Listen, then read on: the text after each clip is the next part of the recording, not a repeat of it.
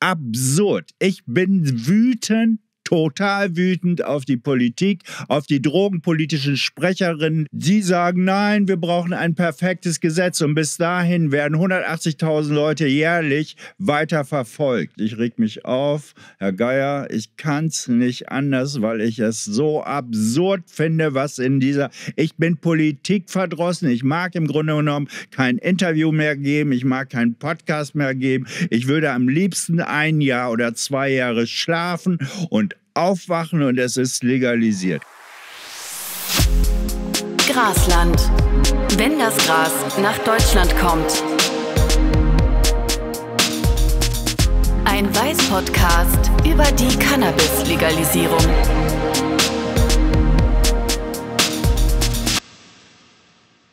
Herzlich willkommen zu Grasland, dem Weiß-Podcast zur Cannabis-Legalisierung.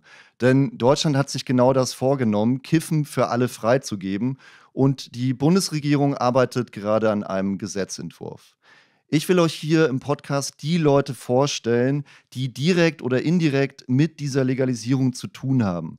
Ich treffe hier Polizisten, Dealer, Ärztinnen und viele mehr. Heute geht es aber um die aktuelle Situation an deutschen Gerichten, denn die ist nach wie vor, Menschen werden fürs Kiffen verknackt. Und das ist auch Teil des Berufs meines heutigen Gasts, denn er ist nämlich Jugendrichter. Er findet es aber gar nicht so gut, dass das Teil seines Jobs ist. Im Gegenteil, er ist sogar dafür, Cannabis zu legalisieren. Er hat auch ein Buch darüber geschrieben, Kiffen und Kriminalität heißt das. Dahinter steckt eine sehr persönliche Geschichte, die auch mit der Drogengeschichte seiner Familie zu tun hat. Wir reden heute über all das, also auch darüber, wie deutsche Gerichte mit Cannabis umgehen, welche besonderen Fälle es da gibt. Das Spannendste ist aber die persönliche Geschichte meines Gasts und deshalb wollen wir genau da anfangen. Herzlich willkommen, Andreas Müller. Ich freue mich, hier zu sein. Also, Sie haben in Ihrem Buch geschrieben, Drogen haben meine Familie gesprengt. Gleichzeitig sind sie für die Legalisierung von Cannabis. Wir reden da gleich noch drüber, aber erstmal, ja, ähm, was ist da in Ihrer Familie passiert? Also das Buch ist nicht mehr auf dem Markt. Ich habe es vor sechs Jahren geschrieben, nachdem ich ein erstes Buch über Jugendstrafrecht geschrieben habe.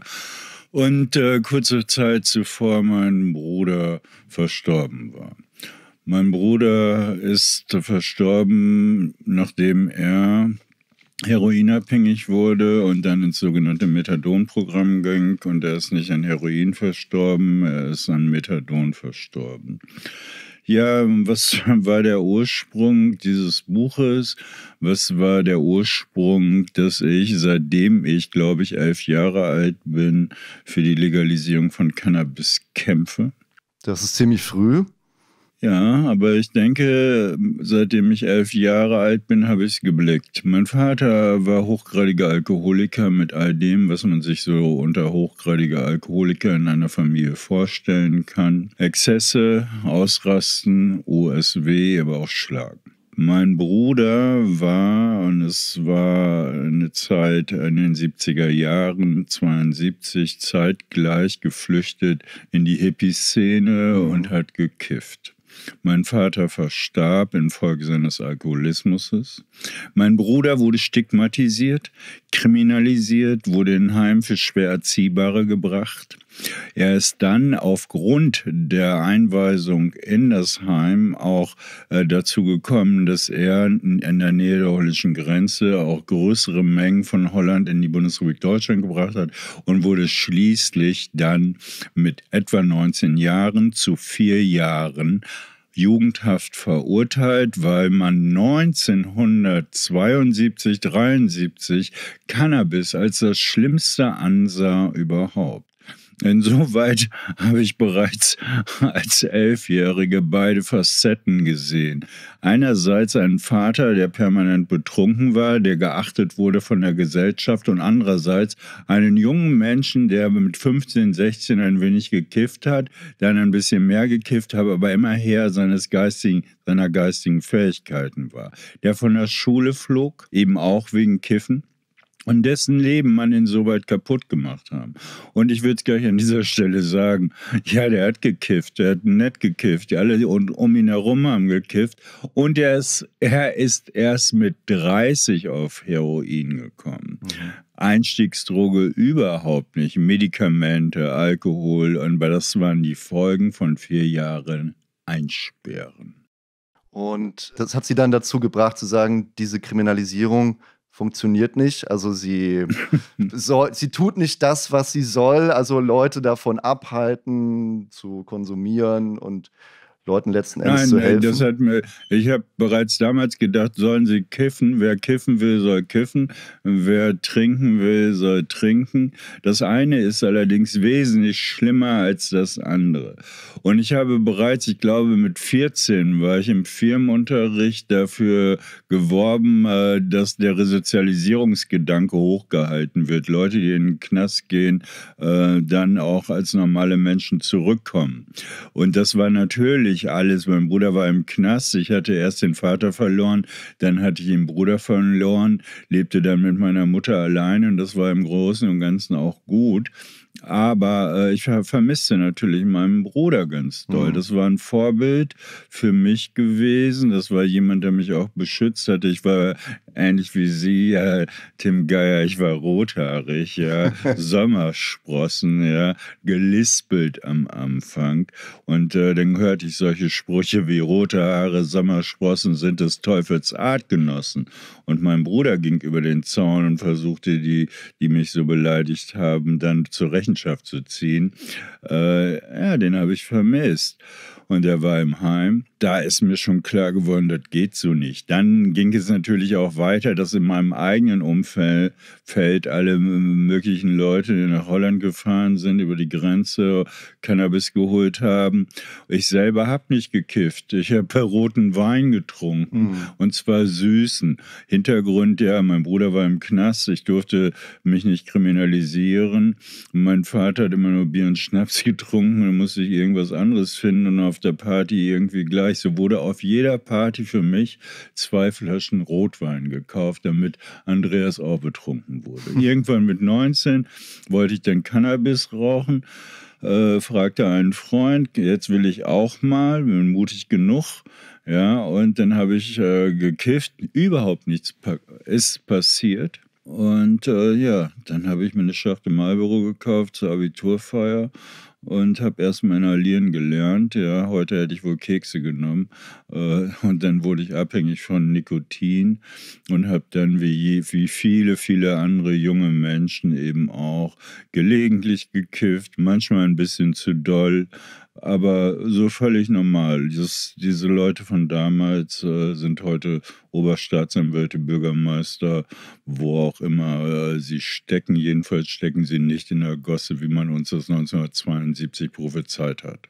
Und Sie sind ja Richter geworden. Sie fügen sich dann eigentlich gut ein in diese Reihe. Man sollte aber eigentlich vermuten, wenn man jetzt Ihre Geschichte hört, okay, der hat sich mit 14 vor seine Firmungsgruppe hingestellt und hat eine Legalisierungsrede gehalten, der hat gesehen, was seinem Bruder widerfahren ist, dann sollte man doch eigentlich denken, okay, der wird Anwalt und der vertritt in Zukunft solche Leute. Also ja. warum sind sie dann Richter geworden?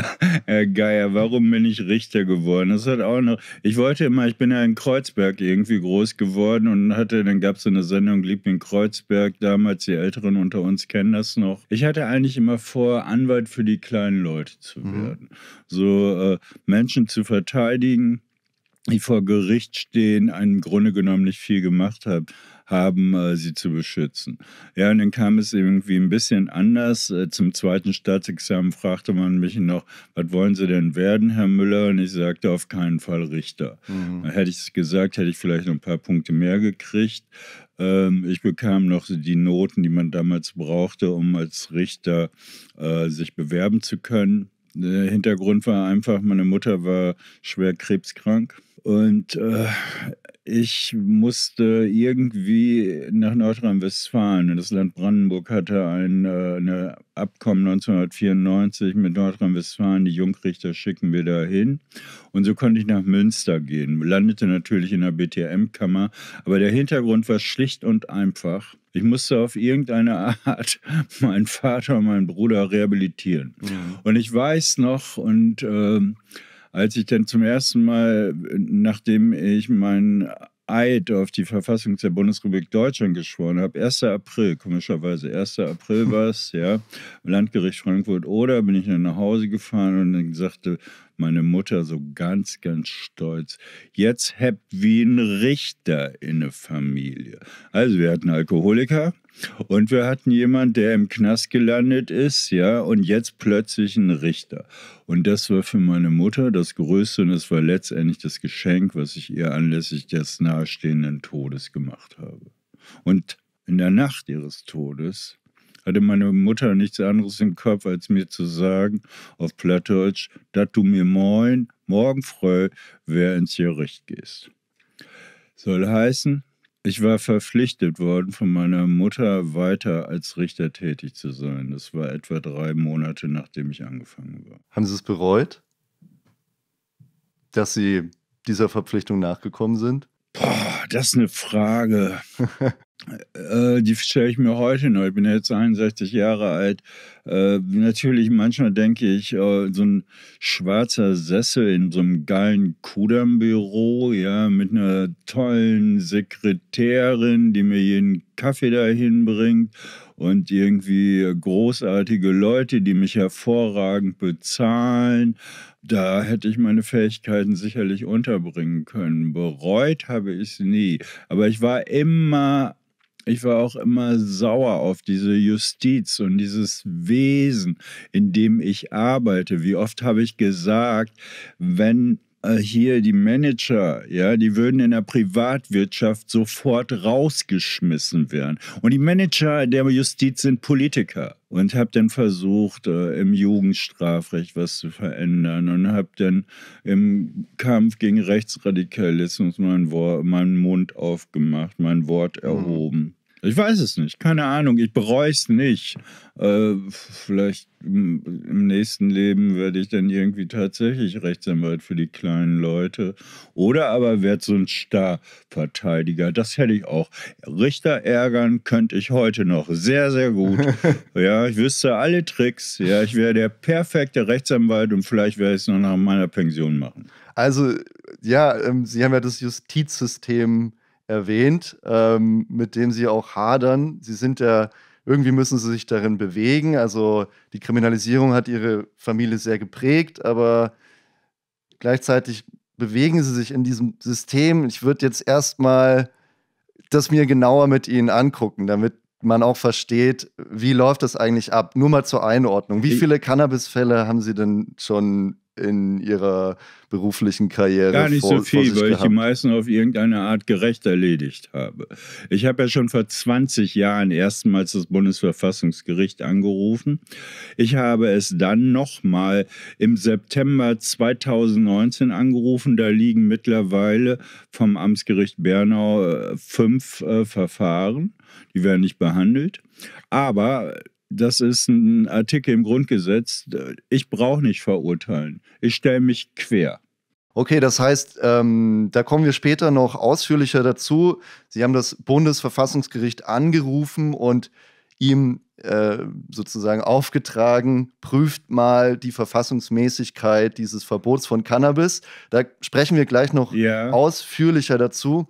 Jetzt würde mich erstmal interessieren, okay, nicht viele Fälle, was muss ich mir darunter vorstellen? 100 ähm, ist nicht viel? Ach oder? Nee, über, weit über 100 ja, ja, sicherlich. Okay. Also ich bin jetzt, äh, auch, ich muss immer rechnen, ich glaube, ich werde jetzt bald 30 Jahre Richter sein und habe natürlich im Jahr immer wieder Cannabisfälle gehabt. Ich habe Kilos gehabt, ja, ich Mhm. habe Tonnen gehabt, Mhm. ich habe Kleinstmengen gehabt vom ein Joint und so weiter. Ähm, relativ wenig. Das kommt auch hinzu, dass man sehr wohl wusste, mit Müller, äh, der wird nicht richtig äh, hart rangehen. Dann hat man viel irgendwie drumherum gemacht im Jugendstrafrecht über die Jugendgerichtshilfe. Aber ich will noch eins sagen, ja. Mhm. Ha, 94 gab es äh, nicht nur äh, nicht nur meine Mutter, sondern es gab natürlich auch aus dieser Tragödie meines Familienlebens heraus, also wenn ich das jetzt schon mache, dann will ich was verändern. Ich war auf dem Weg nach Amsterdam.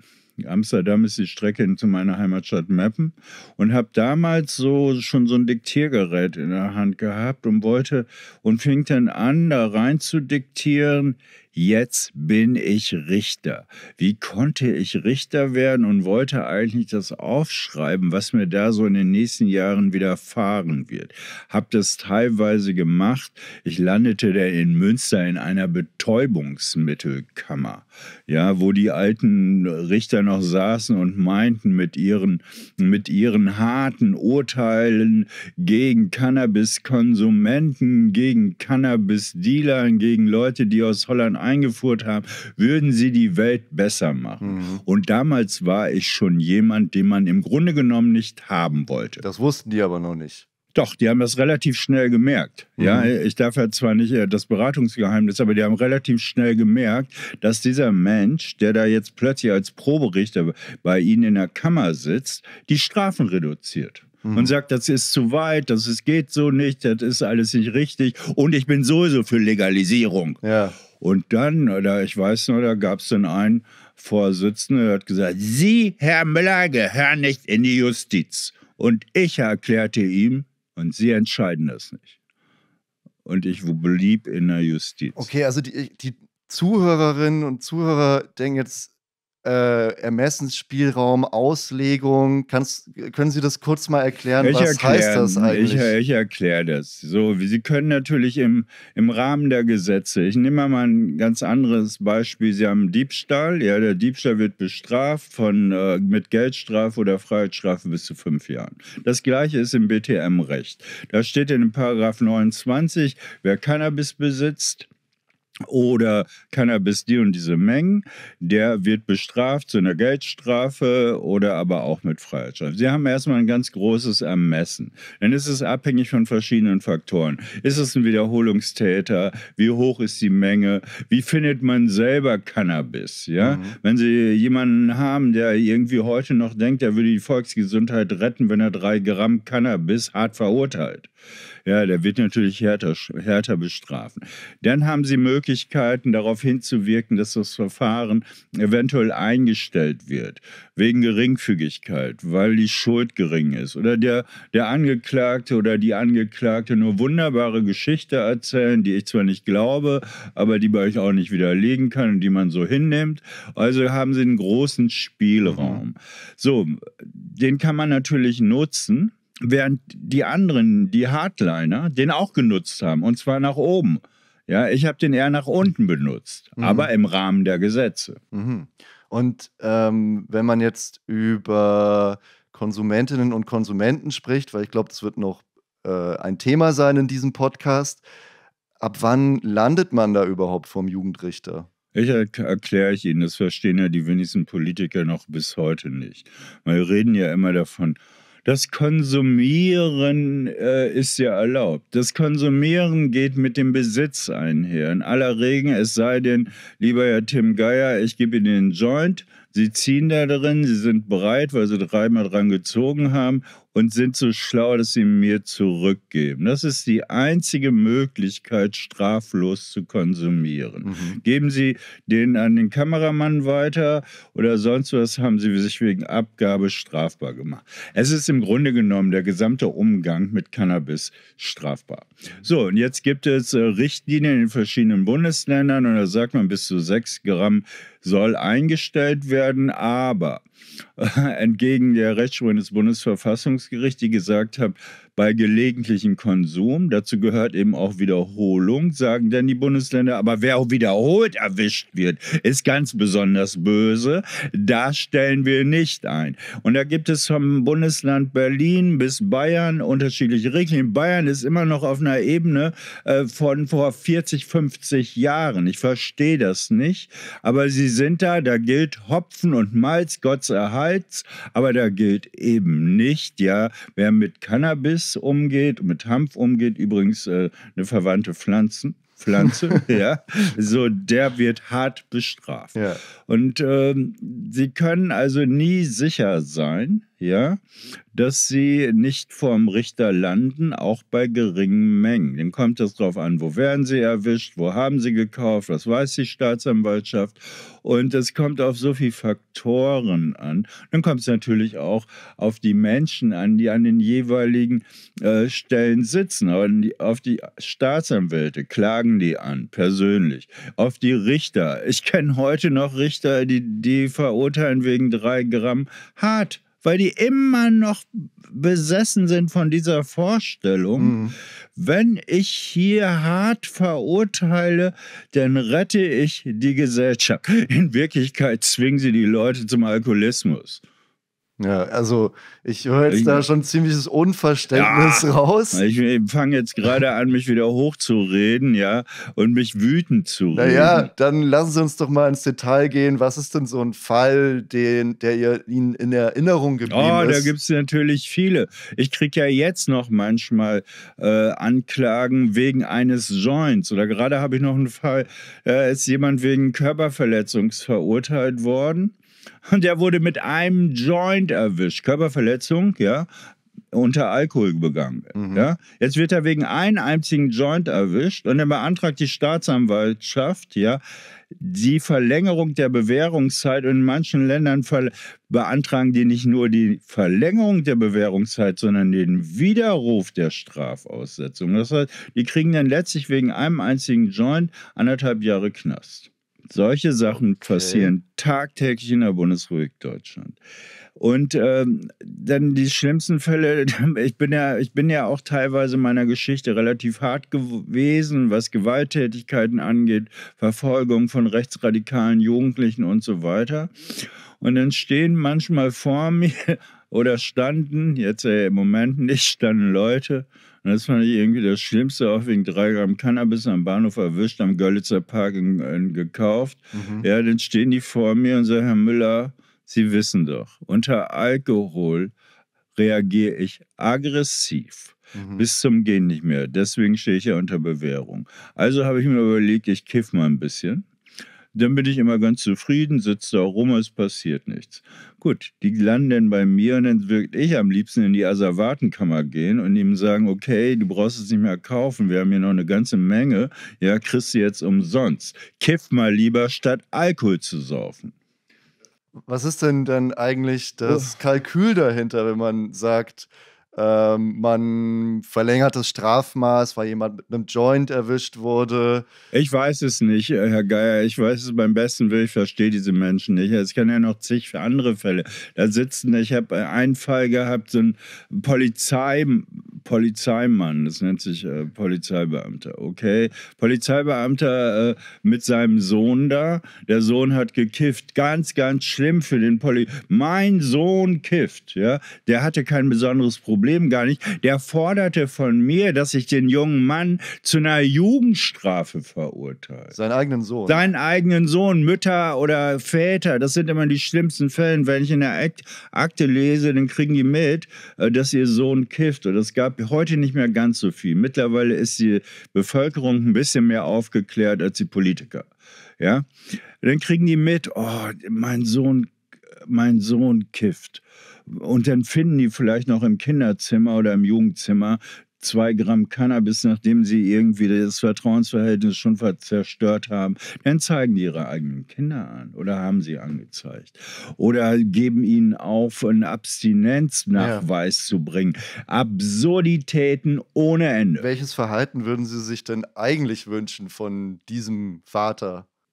Der Vater ist äh, Vertreter der Polizei und da der, äh, jemand, der einen Polizisten, meine Kinder hätten kiffen dürfen, die, die haben leider Gottes nicht gekifft. Ich wäre gerne mal mit meinen Töchtern zum Jugendrichter gegangen und hätte dem erklärt, dass es meine Sache ist, mit meinen Kindern die Erziehung durchzuführen und nicht seine. Aber, ich bin jetzt raus. Also, ähm, wenn, wenn der Polizist natürlich, ich glaube, da kann der man. Der hat mehr Angst um sein eigenes Dasein, ja, seine eigene Reputation, als die Angst um sein Kind. Was ich mir wünschen würde, dass dieser Polizeibeamte sich mal sachkundig macht ja mal liest, welche Gefahren tatsächlich vom Cannabis ausgehen und dann mit denen, mit seinen Kindern einen offenen und ehrlichen Umgang pflegt. Fragt, wie viel kiffst du, wann kiffst du, zu welcher Zeit kiffst du, wie und guckt, wie ist er in der Schule. Ich ver äh, vergesse immer, das war im Jahre 2000, eine Geschichte nicht. Eine Kollegin kam bei mir an, nachdem ich schon in der Öffentlichkeit war und das erste Mal das Bundesverfassungsgericht und sagte, Andreas, mein Sohn kifft. Hm. Dann fragte ich, okay, warum erzählst du mir das? Ich weiß nicht, was ich machen soll. Dann sage ich, okay, dann frage ich jetzt, ja, wie ist dein Sohn in der Schule? Ja, gut, der liegt bei 1,2. Ja, hat er Freunde? Ja, hat er sehr viele. Ja, geht er regelmäßig zur Schule? Ja, macht er. Ja, so, wie oft betrinkt er sich? Ja, schon fast das, jedes Wochenende ist er mit seinen Kumpels unterwegs. Ja, dann frage ich, ja, und wo hast du jetzt ein Problem mit dem bisschen Kiffen? Mhm. Und, und da war klar, die hatte kein Problem mehr. Das Problem macht das Gesetz. Das Problem macht ein Politiker, der von Einstiegsdroge redet. Das Problem machen irgendwelche christlich-demokratischen, christlich-sozialen Politiker, die sich im Deutschen Bundestag hinstellen und erzählen, was von Einstiegsdroge, von einer hochpotenten Droge, USW, um damit klarzumachen, wir sind die Law- und Order-Partei. Hm. Was würden Sie denn sich vorstellen, wenn das jetzt nicht so wäre bei dieser Mutter, dass der Sohn in der Schule gut ist und dass er keine Probleme hat. Also wenn sie sagen würde, er hat schon einige Probleme, die auch auf Cannabis hindeuten könnten, denn es kann ja auch sein, dass es Menschen gibt, die Probleme mit dem Konsum, Konsum haben. Was würden Sie dann raten, anstatt den Denn, Jungen vor Gericht wenn meine zu Frage, ich habe ja in meiner Geschichte sehr oft junge Menschen gehabt, wo ich mit meinem Background sehr wohl gewusst habe, mhm. die kiffen viel zu viel. Die haben ein Problem damit.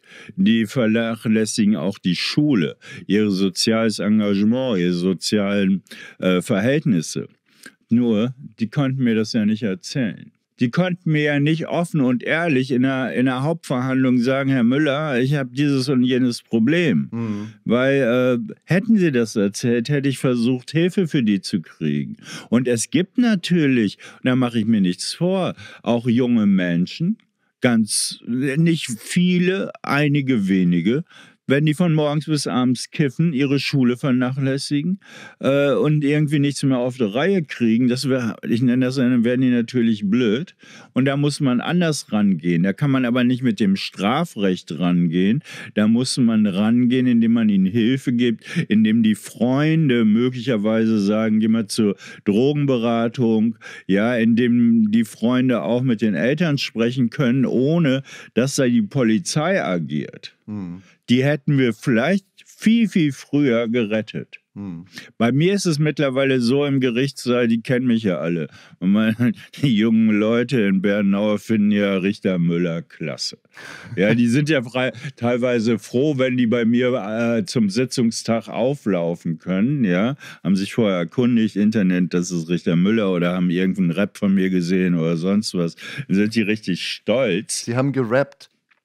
Ja, ich habe einen Richterrap gemacht. Okay. Entkriminalisierung sofort. Den haben wir letztes Jahr am 20.04. vor der SPD-Parteizentrale aufgeführt, Green und ich. Bin extra nach Wien gefahren, in Robe und so weiter, aber kein, Dienst aus, kein dienstrechtliches Verfahren bekommen. Ich glaube, dafür bin ich mittlerweile zu prominent. Äh, und am nächsten Tag hätte die Bildzeitung ganz schön groß äh, irgendwie artikelt, deutscher Richter Repp, dem wäre das Ding hochgegangen bis zum geht nicht mehr. Eigentlich schade, aber die Justizverwaltung äh, war ganz, äh, ganz äh, schlau. Ich habe nämlich in Robe gerettet. Okay, das kann man sich bei YouTube bestimmt anschauen. Jetzt waren wir gerade an dem Punkt, äh, Jugendliche freuen sich, wenn Richter Müller ähm, über sie richtet. Ist das dann wirklich auch berechtigt, diese Freude? Ich kann schimpfen bis zum Gehen nicht mehr und das kann ich jetzt auch, aber nur wenn es Sinn macht. Mhm. Ja. Wenn es Sinn macht zu schimpfen. Wenn Sachen Cannabis, da reden die äh, Leute offen und ehrlich mit mir. Und dann habe ich irgendwie die 17-Jährige, die mir, die Eltern sind hoch besorgt und die 17-Jährige erzählt mir dann heute, früher auch nicht im Gericht, sagt, ja, Herr Müller, äh, ich kiff nun mal ab und zu, ich mag keinen Alkohol und äh, gehe aber regelmäßig zu meiner Lehre, dies und jenes. Und dann äh, die Eltern sitzen da und denken, oi, was macht er nur? Und ich sage dann, okay, das stellen wir mal ein. Ja, ihre Tochter ist keine Kriminelle. Mhm. Die hat auch gar kein Problem. Die wollen ja nur von einem Fachkundigen was hören. Und fachkundig bin ich nun mal. Aus eigener Erfahrung, aus 30 Jahren Beschäftigung mit Cannabis. Und das sollten viele meiner Kollegen auch sein. Also dann fasse ich mal zusammen. Sie haben aus der eigenen Geschichte gelernt, die Ungleichbehandlung von Alkohol und Cannabis. Ihr Vater ist Alkoholiker, wurde geschätzt als Teil der Gesellschaft. Ihr Bruder wurde kriminalisiert.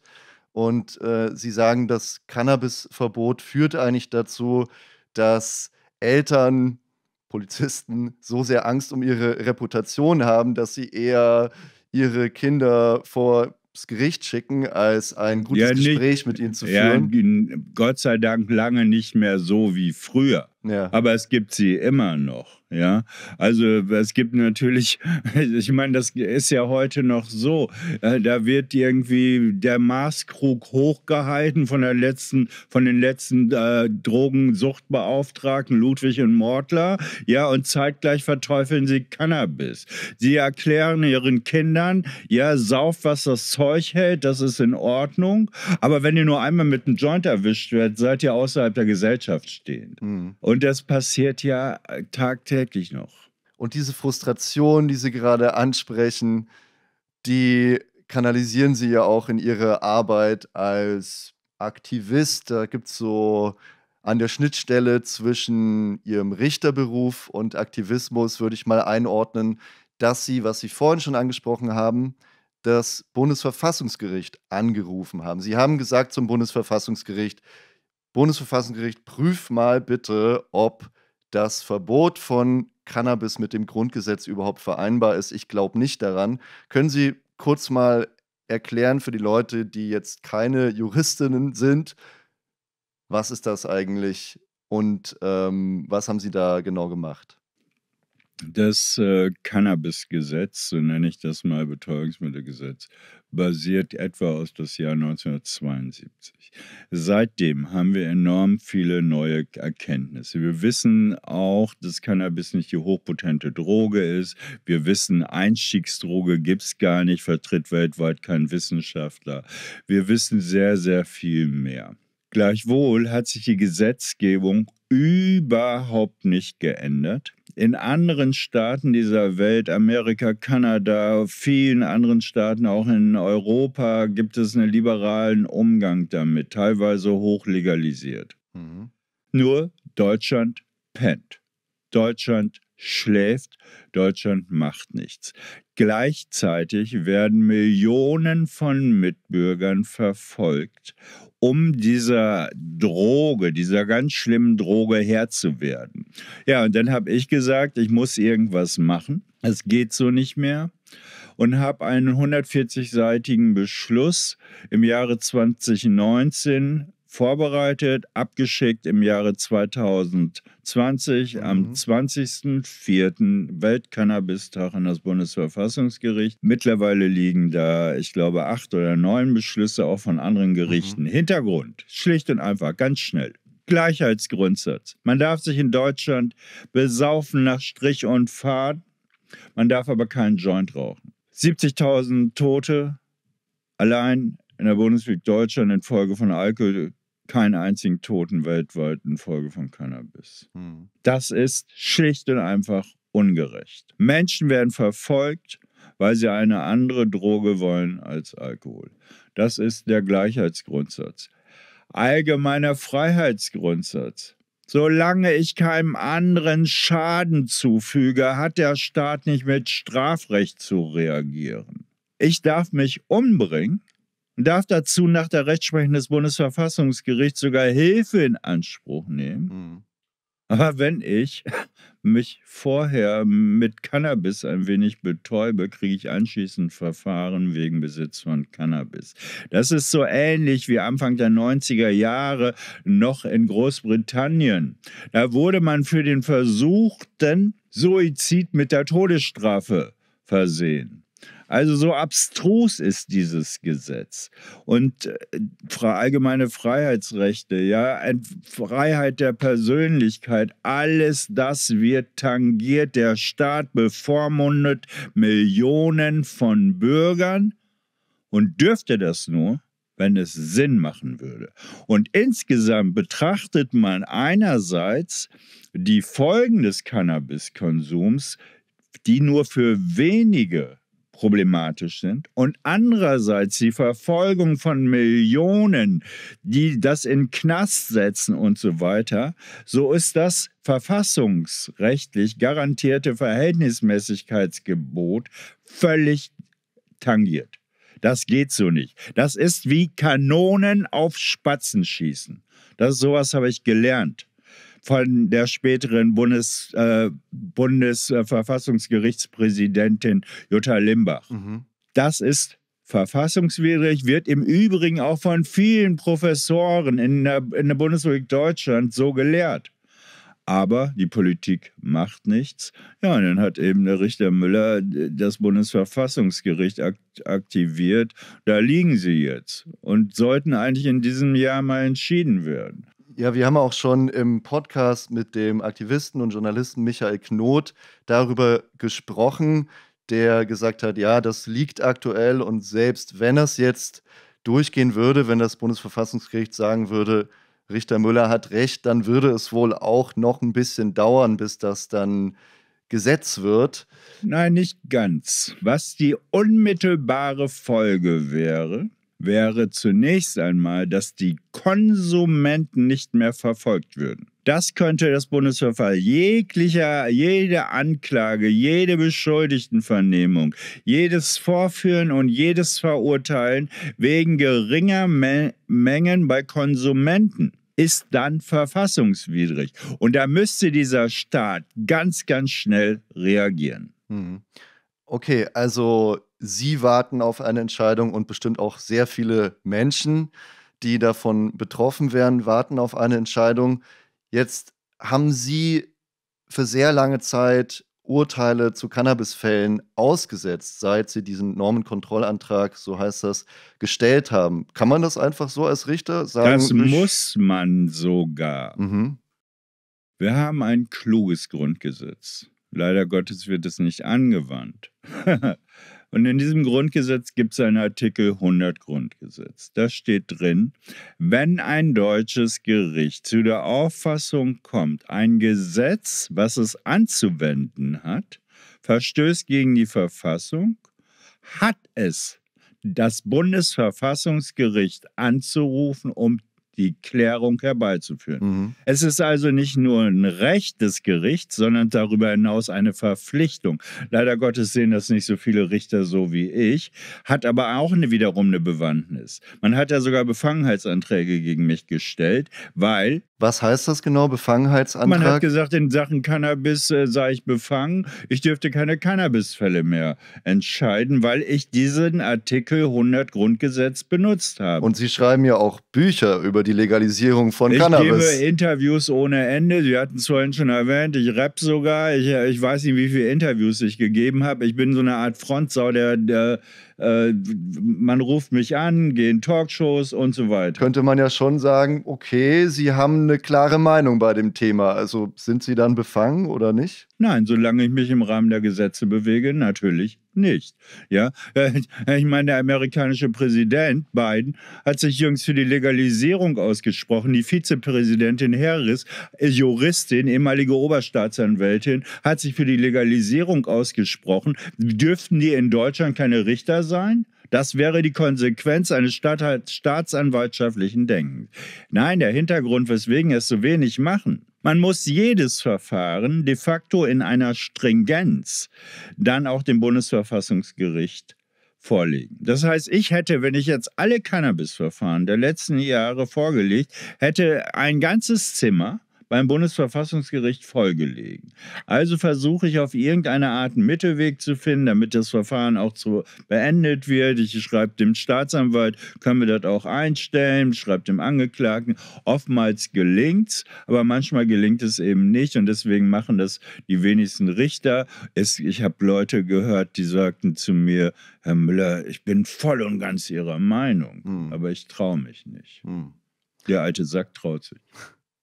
Ein anderes Thema, bei dem Sie sich ja sehr viel öffentlich auch trauen, dafür einzustehen, ist die Entkriminalisierung. Ich fasse noch mal kurz zusammen für die Menschen, die nicht wissen, was die Entkriminalisierung von Cannabis wäre. Das wäre noch vor einer Legalisierung der Besitz und Konsum von kleinen Mengen wäre straffrei, vielleicht noch mit einem Bußgeld belegt. Aber auch wenn sie sich dafür öffentlich sehr laut stark machen, ist da noch nicht wirklich sehr viel passiert. Die Bundesregierung sagt weiter, nee, wir wollen das mit der Legalisierung durchziehen. Wir wollen jetzt keine Entkriminalisierung voranschieben. Also kommt es noch dazu, sie machen trotzdem weiter dafür Stimmung, aber woran liegt es, dass da nichts passiert? Ich bin enttäuscht. Hochgradig enttäuscht. Unser Bundesdrogenbeauftragter hat erklärt, innerhalb von 100 Tagen äh, müssten wir entkriminalisieren. Entkriminalisieren heißt mit anderen Worten kein volles Gesetz, mhm. sondern wir sagen erstmal, bis zu einer gewissen Menge sollen Menschen nicht mehr verfolgt werden oder sie dürfen zwei Pflanzen zu Hause haben. Was wird äh, unter Entkriminalisierung sofort gemacht? Äh, könnte man innerhalb von Wochen im Deutschen Bundestag ohne Anrufung des Bundesrates, ohne Anrufung der EU, trotz international bestehender Verträge machen. Ja, und jetzt kommt die Ampel. Die Ampel kommt und sagen, wir wollen legalisieren. Sie haben bisher ein Jahr gebraucht, um ein Eckpunktepapier ja, mit ganz vielen Leuten, die in Ministerien arbeiten, zusammenzustellen. Dieses Eckpunktepapier hätte ich ohne weiteres innerhalb von drei Stunden geschrieben. Ein Jahr. Und jetzt gehen sie hin, rufen die EU an und fragen, liebe EU, dürfen wir das machen oder habt ihr was dagegen? Absurd. Ich bin wütend total wütend auf die Politik, auf die drogenpolitischen Sprecherinnen der, ich will sie gar nicht bei Namen nennen, ja, Kirsten Kappert-Gonta und so weiter. Die sagen, nein, wir brauchen ein perfektes Gesetz. Und bis dahin werden 180.000 Leute jährlich weiter verfolgt. Und wenn die Ampel zerbricht, ich reg mich auf, Herr Geier, ich kann es nicht anders, weil ich es so absurd finde, was in dieser, ich bin politikverdrossen, ich mag im Grunde genommen kein Interview mehr geben, ich mag keinen Podcast mehr geben, ich würde am liebsten ein Jahr oder zwei Jahre schlafen und aufwachen und es ist legalisiert. Aber so muss ich mir das alles angucken. Mhm. Ja, da sagt dann der Bundesgesundheitsminister, wir rufen die EU an. LTO, eine gute Zeitung, da steht drin, ja, die haben noch gar keinen Brief an die EU gesandt absurd. Ich war vor anderthalb Wochen beim Bischof von Osnabrück. Der spricht sich mittlerweile für eine Entkriminalisierung aus. Das sind CDU, CSU-Anhänger. Und die Bundesregierung, die Ampel schläft, schläft, schläft. und unterbrechen Sie mich, sonst fange ich an, äh, mich so in Rage zu reden. Was, ja, muss, man denn noch, was muss man denn noch machen ähm, aus Ihrer Sicht? Ich meine, Sie sind Ich jetzt hier im weiß nicht. Podcast. Ich weiß es einfach nicht mehr. Äh, was man, die drogenpolitischen Sprecher der FDP, äh, Frau Lüttke, sagt, oh, das stärkt den Schwarzmarkt. Völliger Unsinn. Die anderen schließen sich an, die haben sich jetzt so abgekaspert. Ja, wir brauchen die Perfektion eines Gesetzes. Anstatt erstmal den Menschen eine Freiheit zu geben, was ganz schnell geht. Und diese Perfektion werden sie gar nicht hinkriegen, weil jedes Gesetz nachgebessert wird und so weiter. Ich bin wütend Mhm. auf diese Menschen, die nach außen hin so tun, als ob sie die Menschen jetzt äh, äh, den Menschen ihre Freiheit geben. Hm. Aber in Wirklichkeit machen sie nichts.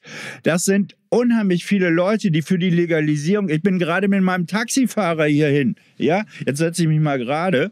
Ja, mein Taxifahrer sagt mir, ach Herr Müller, Sie haben es geschafft. Ich habe in den letzten Wochen immer wieder SMS von ganz normalen Bürgern gekriegt. Bravo, Andreas, du hast es geschafft. Es wird ja legalisiert. Ich Ja. darf jetzt zwei Pflanzen haben. Ich darf, nein, darf keiner, darf nach wie vor keiner. Es ist alles nur angedacht.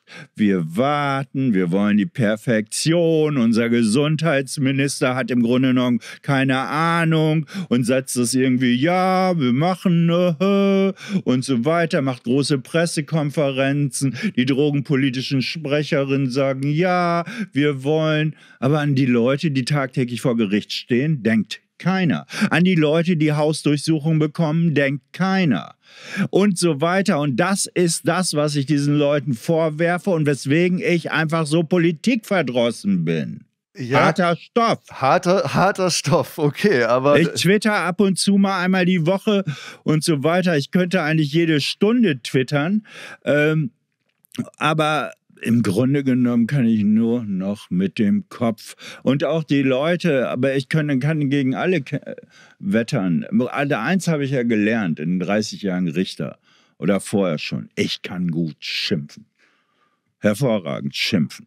Ja, höchstwahrscheinlich äh, würde ich am liebsten mal gerne im Deutschen Bundestag schimpfen. macht es Ihnen eigentlich Spaß? Nein. Also der Streit auch, die, sich zu messen mit anderen, auch in diesem Thema Cannabis-Legalisierung? Nein, es macht mir keinen Spaß mehr. Es macht mir keinen Spaß mehr, weil ich irgendwie immer denke, ich werfe Perle, Perlen vor die Säule. Es passiert nichts. Es passiert nichts. Vor einem Jahr etwa, als die Ampel sagte, wir bringen das, wir machen es jetzt. Mhm. Und das war etwa der Todestag meines Bruders. Mhm. Da habe ich dann getwittert, ich freue mich so wahnsinnig, ja, dass es endlich jetzt über die Bühne geht. Das war vor einem Jahr. Und äh, das, was ich im Kopf hatte, ist nicht eingetreten. Mhm. Und es ist bloßes Gerede. Es ist immer wieder das Gleiche. Und sie kapieren es nicht. Ich schreibe regelmäßig an die drogenpolitischen Sprecherinnen.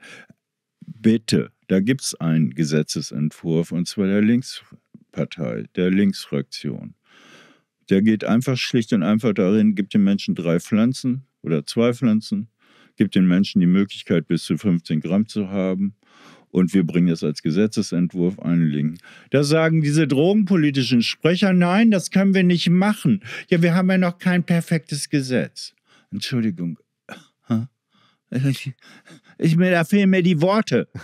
Da fehlen mir einfach die Worte. Die reden die ganze Zeit, finden sich unheimlich toll, machen tolle Bilder, ja.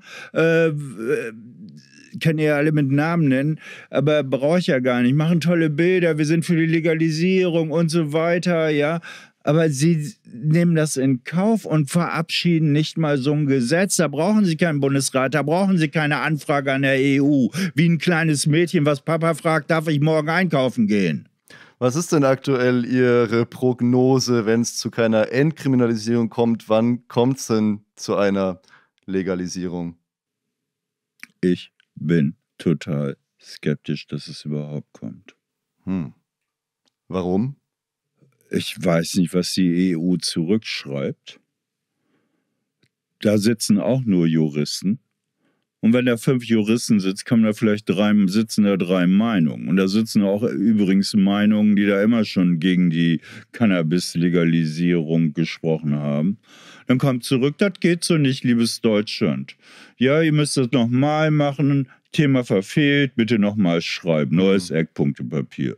Ha, ja, okay. Dann haben wir irgendwie 2025 oder 2024, Zwischenzeitpunkt hat die Ampel geknallt. Dann gibt es gar nichts, setzen sich wieder die Christdemokraten durch mit den Christsozialen. Ja, Law and Order, die deutschen Polizeigewerkschaften hängen hinterher und dann wird das erstmal auf Eis gelegt. Das Einzige, was man machen muss, sofort entkriminalisieren. Das könnten die machen, machen sie aber nicht. Äh, ich bin, also ich glaube auch 50 Prozent der deutschen Cannabiskonsumenten sind völlig verwirrt. Ähm, glaub, nicht wegen Cannabis, ja, sondern wegen der, wegen der Politik. Ja. Die wissen ja gar nicht mehr. Auch die Bevölkerung weiß nicht mehr, ist es jetzt kriminalisiert oder ist es nicht? Ist die Prohibition beendet? Darf man Pflanzen haben und so weiter? Die können das gar nicht einordnen. Hm. Ja, viele denken, sie dürften jetzt kiffen. Viele denken sogar, die würden, dürften Pflanzen zu Hause haben, mhm. weil Lauterbach sich hinstellt und sagt, ja, wir wollen das machen, ja. Aber die können ja nicht differenzieren, wir wollen das machen oder es ist gemacht. Und äh, ich, hab, ich, bin, ich bin sehr, sehr skeptisch, was da noch auf uns zukommt. Ich möchte eigentlich so etwa ab Mitte nächsten Jahres oder vielleicht noch ein halbes Jahr länger, ich weiß nicht wie lange, in Pension gehen. Ich möchte mal irgendwann noch ein Dezernat, so nennt man man das, was man so an Akten hat, haben, wo ich wenigstens keine Cannabis-Konsumentenfälle habe. Mhm. Ich glaube nicht mehr dran. Mhm. Aber Sie haben es ja, so haben Sie mal getwittert, das war an dem, Sie haben das vorhin erwähnt, an dem Tag, als der Koalitionsvertrag bekannt gegeben wurde. Sie haben es Ihrem Bruder am Grab geschworen, dass Sie ihn rehabilitieren wollen und dass Sie für die äh, Legalisierung kämpfen. Wenn Sie also doch Erfolg haben sollten, was machen Sie dann an diesem Tag? Ich weiß nicht, ob man mich noch in den Deutschen Bundestag einlädt, weil ich ja die ganze Zeit auch immer hacke gegen die drogenpolitischen Sprecher, weil ich finde, man darf nicht mit denen kuscheln. Hm. Man muss denen täglich sagen, ja, ihr macht keine gute Arbeit. Machen sie nicht. Also sitze ich vor dem Deutschen Bundestag, sitze da mit einem Joint und einem Glas Rotwein oder ich sitze vor meinem Amtsgericht und zwar noch drei Tage bevor es im Bundesgesetzblatt verkündet wurde, weil zu dem Zeitpunkt bin ich noch Straftäter. Nach drei Tagen wird es dann eingestellt. Ja, so und ruft noch die Polizei dazu. Ja, und sagt: Hier habt ihr euren Richter, habt zwar 30 Jahre für diesen Staat gearbeitet, habe jetzt aber einen Joint in der Hand. Bitte verfolgt nicht, kriminalisiert mich. Ihr habt noch drei Tage Zeit. So stelle ich mir das Ding. Nein, in Wirklichkeit würde ich an diesem Tag heulen ich würde äh, zurückblicken auf die Geschichte von 50 Jahre Prohibition, der Verfolgung meiner eigenen Familie, meiner eigenen Verfolgung, meiner, der Verfolgung von Menschen aus meinem Umfeld. Ich würde denken an die Millionen von Menschen, die in den Knast gegangen sind. Ich würde denken an die Millionen von Menschen, die mit Geldstrafen und Geldbußen übersehen würden. Ich würde, glaube ich, fix und fertig sein an diesem Tag. Äh, das hätte hätte ich liebend gern für mein Leben. Aber wie gesagt, ich im Moment, ich drücke die Daumen. Ich beschäftige mich mit diesem Cannabis-Thema jeden Tag. Ich werde angef angefragt, auch hier dieses Interview. In Wirklichkeit habe ich gar keinen Bock, hier zu sitzen und wieder über das Gleiche zu reden. Ja, ich bin dankbar, dass Sie trotzdem gekommen sind. Also man wird sehen, welche Ihre Ahnungen recht behalten wird. Jedenfalls vielen Dank fürs Kommen an Andreas Müller. Danke, dass Sie hier waren. Schreiben Sie für die Gerechtigkeit und schreiben Sie für die Entkriminalisierung sofort. Da tun Sie was Gutes, ja, und sagen Sie diesen drogenpolitischen Sprecherinnen und diesen Menschen, ja, ihr verfolgt einen großen Teil eurer Bevölkerung, genauso wie es ihr damals. Man muss, ich will nur einen Satz sagen, man muss sich das so. Ja bevor Homosexualität auf irgendeine Art nicht mehr strafrechtlich verfolgt wurde, haben im Jahr bevor es dazu kam, noch zig Homosexuelle strafrechtliche Sanktionen erlebt. Da war das auch schon im Gesetz. Ja, die CDU, CSU, oh, Homosexualität war eine Krankheit und so weiter. Und heute macht man das Gleiche nach wie vor mit Cannabiskonsumenten. Ich habe jetzt genug geredet. Ich bin wieder ausgeschüttet. Äh, ich bedanke mich für die Einladung und äh, ja, keine Ahnung. Das ist eben mein Leben. Das ist mein Kreuz. Ich betrachte das als Kreuz und ich hätte es gerne weg. Vielen Dank.